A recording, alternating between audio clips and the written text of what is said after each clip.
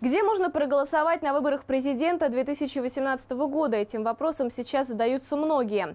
Самый простой вариант – 18 марта отдать свой голос на родном избирательном участке, там, где избиратель включен в список по месту жительства, указанному в паспорте. Однако в жизни бывают ситуации, когда мы по разным причинам не можем находиться там, где прописаны. В этом случае проголосовать на выборах президента можно будет в месте, где удобно избирателю. Главное – позаботиться об этом заранее.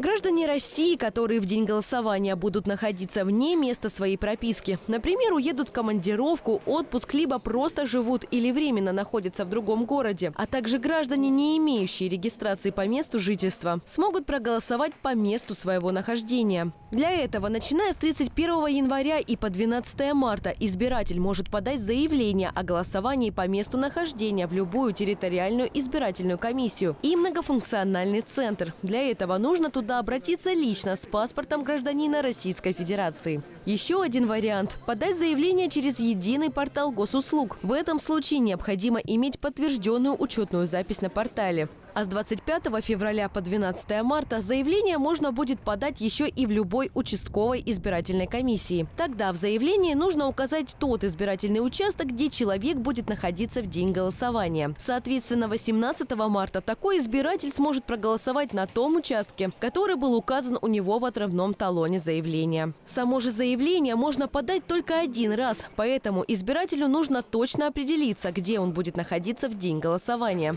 Если до 12 марта гражданин не знал о своем отъезде или у него была другая уважительная причина, не позволяющая ему подать заявление в срок, то в период с 13 по 17 марта до 14 часов дня он сможет оформить специальное заявление с особым знаком, маркой в участковой избирательной комиссии по месту жительства. Специальное заявление также даст избирателю возможность проголосовать 18 марта по месту нахождения, но только на том избирательном участке, который ему укажут. Анна Троян, телеканал ЛРТ.